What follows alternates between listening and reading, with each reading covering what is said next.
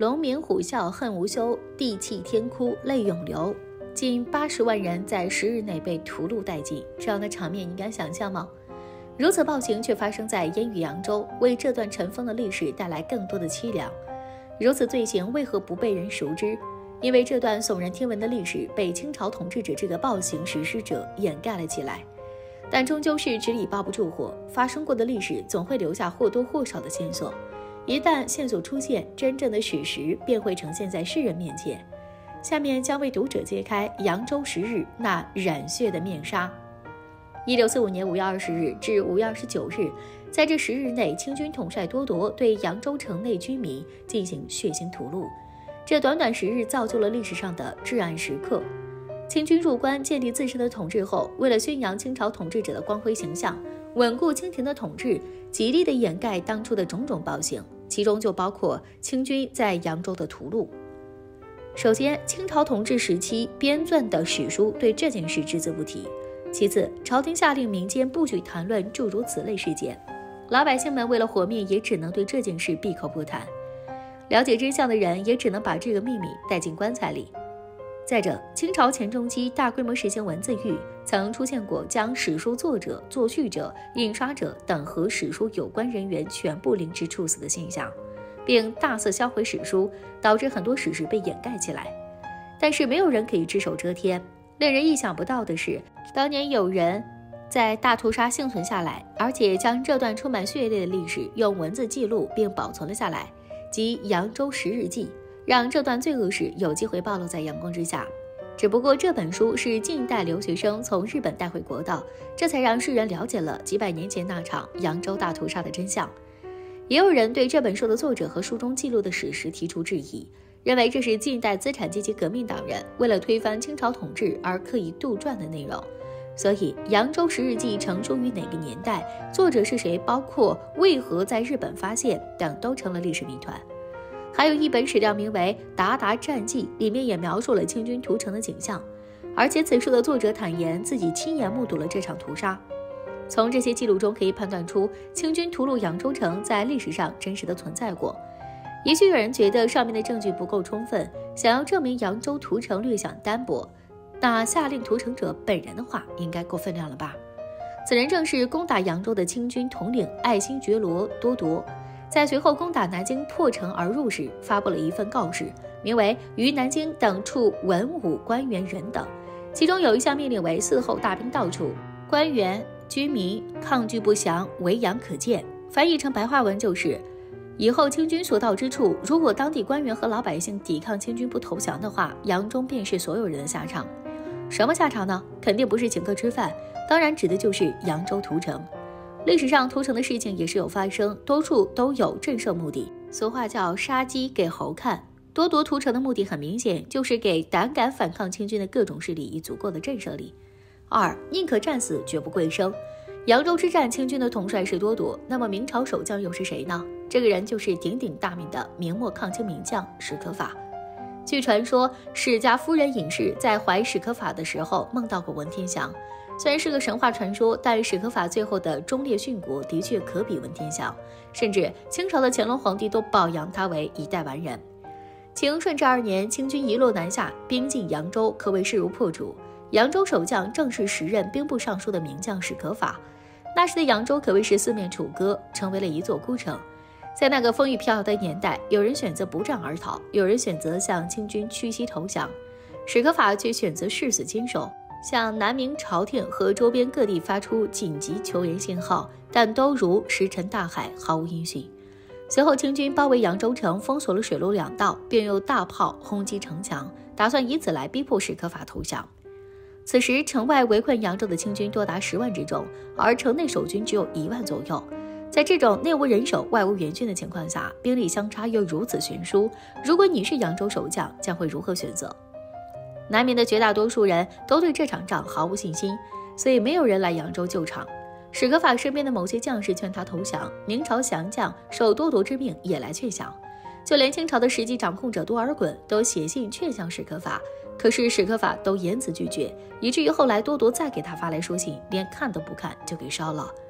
几番接触下来，多铎被气得七窍生烟，随即下令调炮攻城。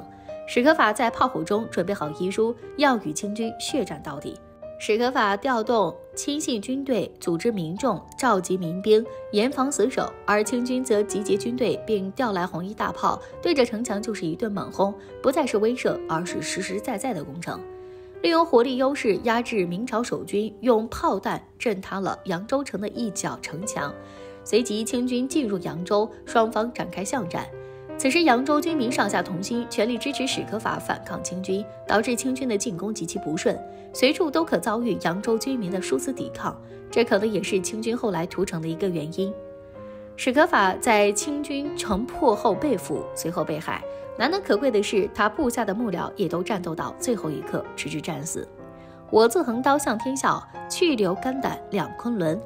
史可法被俘后，多多想着震慑一下，唰一下抽出腰刀，猛然砍向史可法。没想到史可法就像没看见一样，眉头都没有动一下，毫无惧意，反而高昂着头，厉声呼喊：“头可断，志不可夺也。”多铎随即感叹道：“好男子！”叫手下清兵先将史可法压了下去。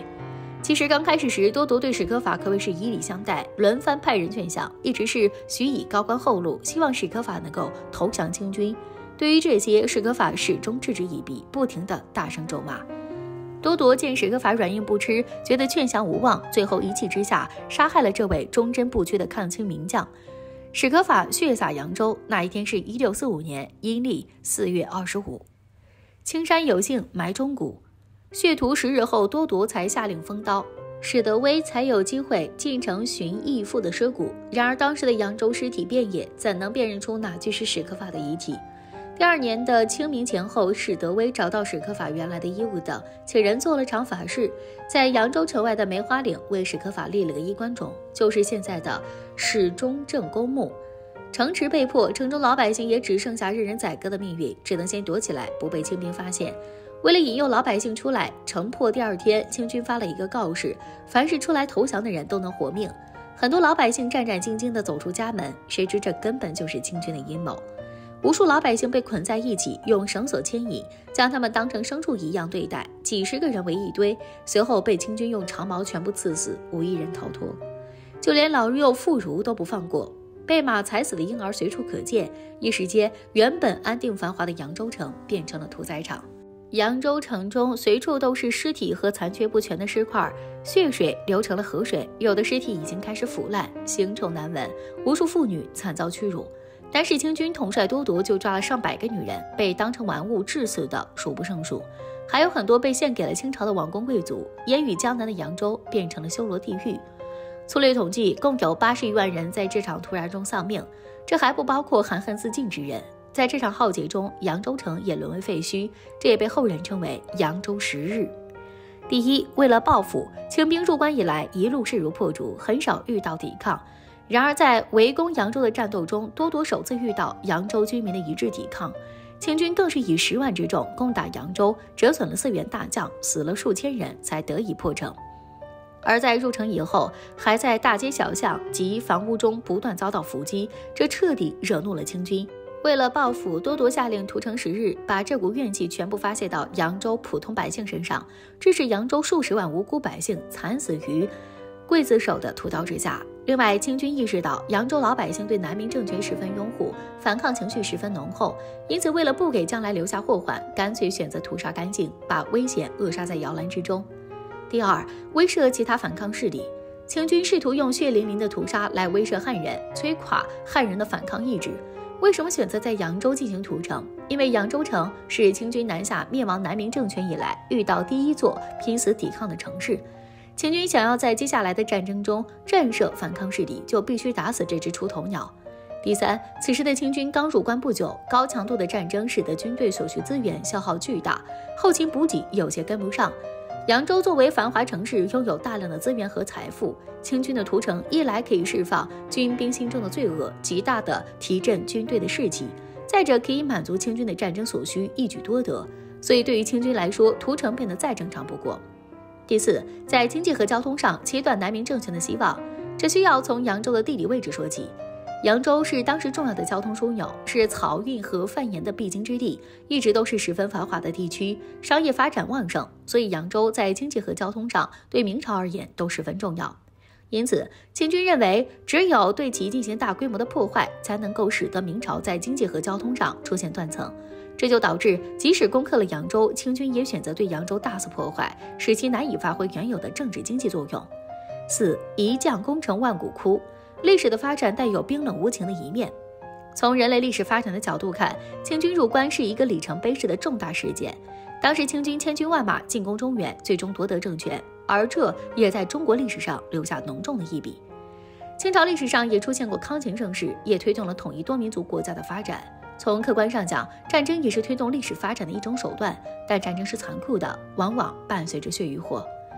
中国历史学家范文澜说：“历史多么无情而又有情，不遗忘每一个对历史的贡献，也不宽容每一个对历史的障碍。